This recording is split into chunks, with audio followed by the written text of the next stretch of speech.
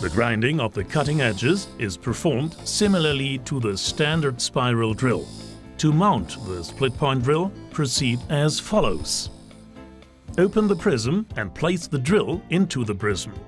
The drill should protrude approximately 25 millimeters. Align the cutting edge in such a way that it is located in between the two adjusting lines. Set the clearance angle to 2 and lock the pivoting mechanism in position C.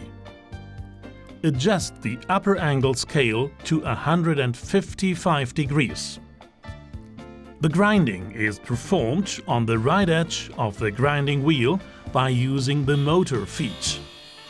Carefully grind the drill up to the drill center and then move back. For the second side of the drill, turn the prism and repeat the process using the same settings.